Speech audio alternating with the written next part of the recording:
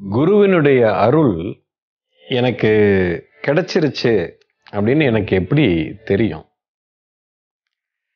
அதாவது முதல்ல குருன்னா என்ன ஃபஸ்ட் நான் நிறைய தடவை நிறைய வீடியோக்களில் இதை பற்றி பேசியிருக்கேன்.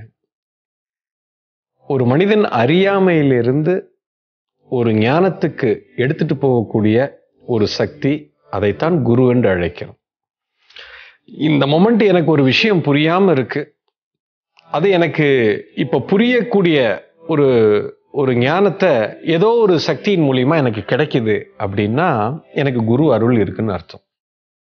இவ்வளோதாங்க மேட்ரு இப்போ நம்ம வாழ்க்கையில் குரு அருள் உனக்கு கிடைச்சிருக்கா இல்லையான்னா எழுநூத்தி முப்பது கோடி மக்களுக்கும் குரு அருள் இருக்குது. மக்களுக்கு மட்டும் இல்லை இந்த அண்ட சராசரத்தில் இருக்கக்கூடிய எண்பத்தஞ்சு லட்சம் உயிரினங்களுக்கும் அது உண்டு எப்பொழுதுமே உண்டு. கடவுளினுடைய அருளும் குருவனுடைய அருளும் எப்பொழுதுமே இருக்கும். அதாவது வாழ்க்கையில் புத்தரை பற்றி நீங்கள் கேள்விப்பட்டிருக்கீங்க காதுக்கு வந்திருக்கு.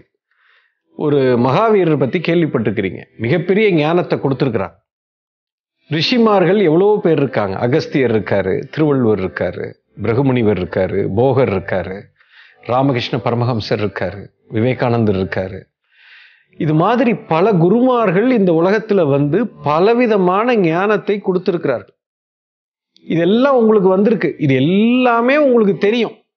இது எல்லாமே உங்க காதுக்கு வந்திருக்குதுனாலே குருவுடைய அருள் இருக்குன்னு தானே அர்த்தம்.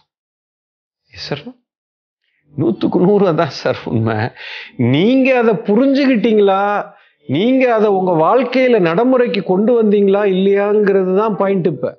ஆனால் உன் காதுக்கு வந்துருச்சு அப்போ குரு யாரோ ஒருத்தர் ஏதோ ஒரு சொன்ன விஷயம் என் காதுக்கு வந்திருக்குனாலே அந்த அருள் இல்லாமல் எப்படி வரும்? நீ இப்படி இருக்கணும். நீ காலையில் எந்திரிச்சு இந்த மாதிரி சாத்மீகமான உணவை நீ சாப்பிடு. அப்பதான் உன் உடம்பு நல்லா இருக்கும். இந்த விஷயம் உங்கள் காதுக்கு வந்திருக்கு. இது வந்திருக்குனாலே குரு அருள் இருக்குன்னு அர்த்தம்.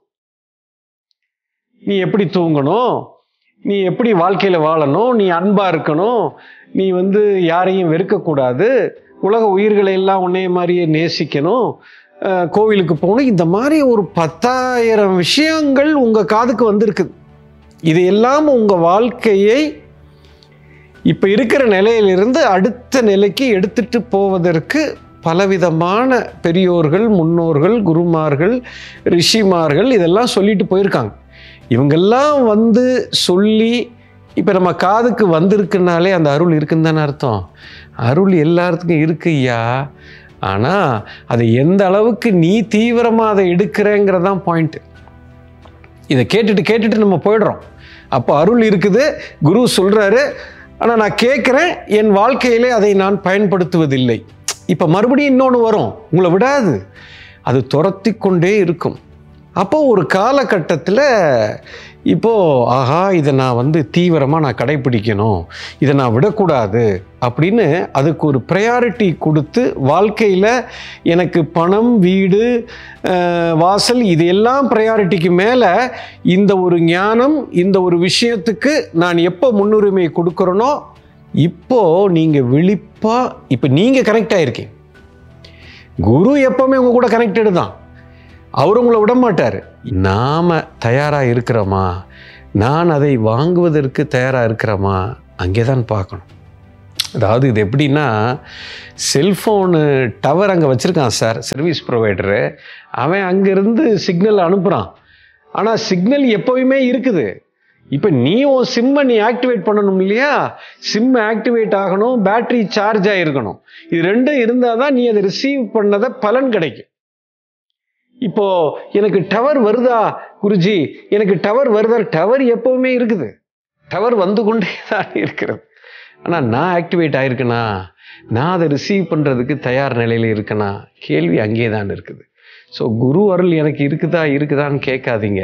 நான் அதற்கு தயாராக எனக்கு அந்த தேடல் வந்து விட்டதான்னு பாருங்க. பிடிச்சிருவார் உங்களை. தூக்கிட்டே போயிடுவார். யூ அண்டர்ஸ்டாண்ட் அது வருவதற்கு முன்னாலே வந்து இருக்குது. இல்லைன்னா இந்த ஞானம் எல்லாம் நமக்கு வராது. ஏதாவது ஒரு விஷயம் நல்ல விஷயம் அவங்க வாழ்க்கையில் ஒன்று கிடைச்சிருக்குனாலே அது குரு அருள்னால தாங்க கிடைக்கும். உண்மை தெரிஞ்சவன் தான் அதை உங்களுக்கு சொல்லி கொடுத்துருக்கணும். அது பல பேர் மூலியமா உங்க காதுக்கு வந்திருக்குது. அது எப்படி வந்ததுங்கிறத விட்டுருங்க. ஆனால் காதுக்கு வந்திருக்குதுனாலே குரு அருள் எப்பொழுதுமே இருக்கிறது. இங்கே இருக்கக்கூடிய அத்தனை ஜீவராசிகளுக்கும் அது இருக்குது. நீங்கள் குருவை பிடிச்சிக்கணும். குரு என்னைக்குமே உங்களை விட மாட்டார் எந்த குருவாக இருந்தால் உண்மையான குருவாக இருந்தால் நீங்கள் என்ன தவறு செய்தாலும் எப்படியெல்லாம் இருந்தாலும் உங்களுக்கு அந்த அருள் கிடைத்து கொண்டே இருக்கும். நிறைய பேருக்கு என்ன தோணும்னா குருவருள் எனக்கு கிடைச்சிட்டா எனக்கு நல்லது மட்டும் நடக்கும். இல்லை என்னை வச்சும் செய்வாங்க. இப்போ உனக்கு ஒரு கஷ்டம் வந்திருக்குதுனாலே அதுவும் குரு அருள் தான். உனக்கு ஒரு பெரிய பிரச்சனை வந்திருக்குது என்று சொன்னாலும் அதுவும் குரு அருளில் தான் வந்திருக்கிறது. யூ அண்டர்ஸ்டாண்ட் ஸோ நீங்கள் என்ன நினைக்கிறீங்க? எனக்கு பிரச்சனை வந்திருக்குது. குரு அருள் இல்லை கடவுள் அருள் இல்லை. கடவுள் அருளில் தான் உனக்கு பிரச்சனையே வந்திருக்குது. இன்ஃபேக்ட் பிரச்சனையே நான் டிவைன் இன்டர்வென்ஷன் சொல்லுவேன் all problems are divine intervention நீங்கள் வந்து ஒரு கம்ஃபர்ட் ஜோனில் உங்களை இருக்கவே விட மாட்டோம். நீங்கள் அன்கம்ஃபர்டபுளா இருக்கிறீங்கன்னாலே குரு அருள் இருக்குன்னு அர்த்தம். ஸோ நீங்கள் இருக்கும் நிலைப்பாட்டை வைத்து முடிவு செய்யாதீர்கள். எப்பொழுதுமே உங்களுக்கு குரு அருள் இருக்கிறது. அதை நீங்கள் கூர்ந்து விழிப்புணர்வோடு கவனித்தால் எனக்கு ஏன் இந்த பிரச்சனையை நடக்கிறது? ஏன் என் குரு இப்படி செய்கிறார்? அப்படிங்கிறது உங்களுக்கு தெளிவாக தெரியும். ஏன் இந்த இறை சக்தி எனக்கு இந்த கஷ்டத்தை கொடுத்திருக்கிறதுங்கிறது புரியும்.